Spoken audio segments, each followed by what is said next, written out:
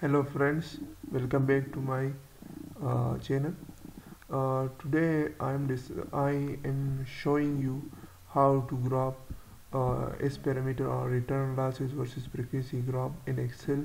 So first of all I will click on this uh, in CST on S parameter. You can see here a graph is opened okay?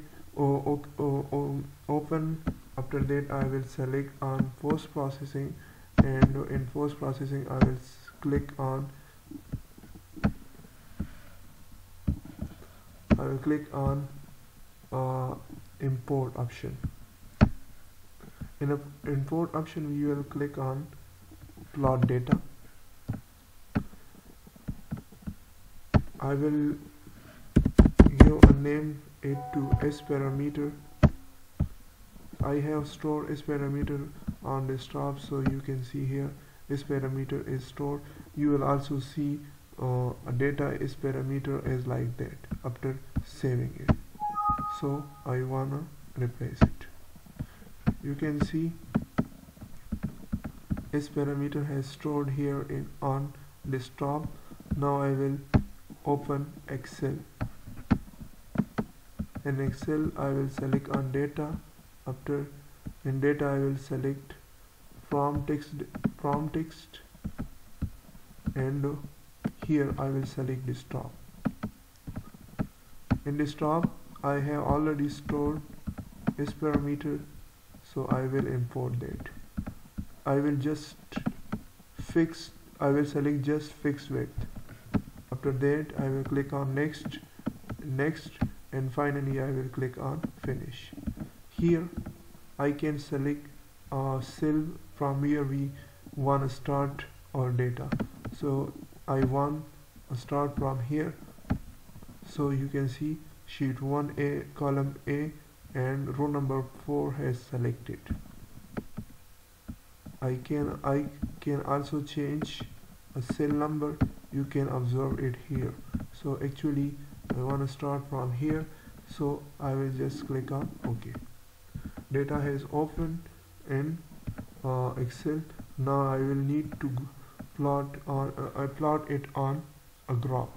So I will click on insert and after that scatter data and I will select this.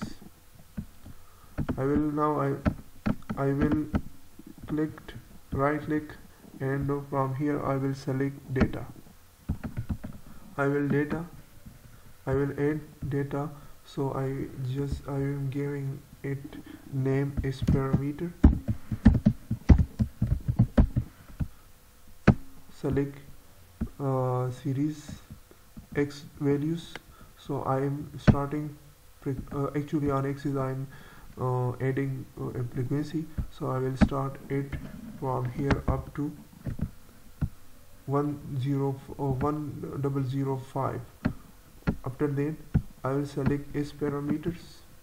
So I will just select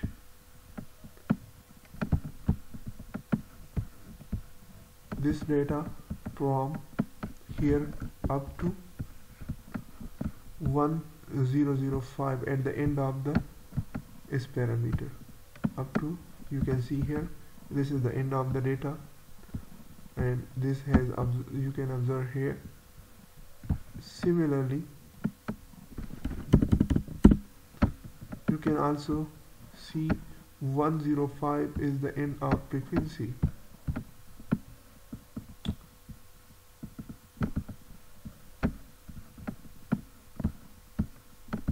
You can observe it here.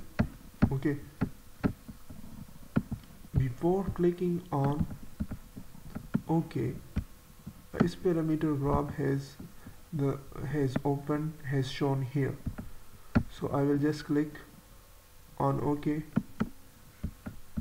And after that I will also click on ok.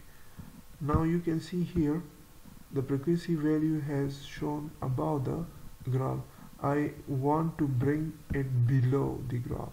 So I will just double click. No. I will right click on it. And I will select here format axis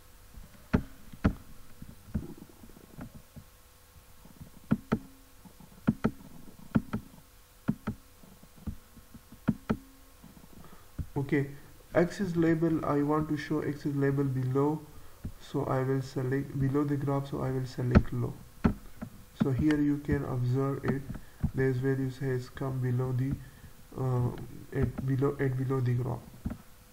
Now actually my graph is here and frequency is starting from 0 so I will so the minimum point the minimum values of frequency is starting from 0 and I want to start it from 0 0.6 so I will so I will change I will manually change it to 0 0.6 now you can observe it here.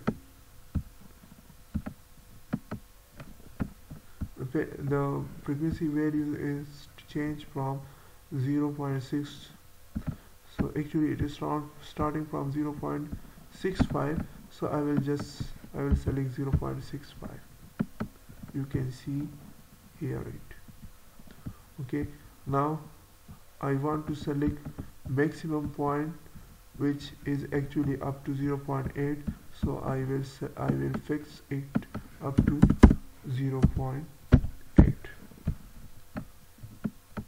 okay so I will close this. Now these lines are not important so I can delete it by uh, by clicking it.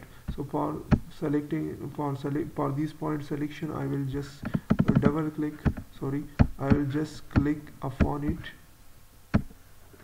And after that I will uh, press delete option delete key in my keyboard. Okay. Now the second point is that these points are above and pointing to the uh, inside. So I want to cancel these points which is actually which is actually um,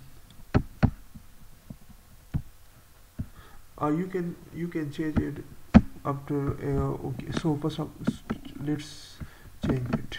So I will just click on uh, right click and format axis after format sets major track marks I want to delete. So I will just select none.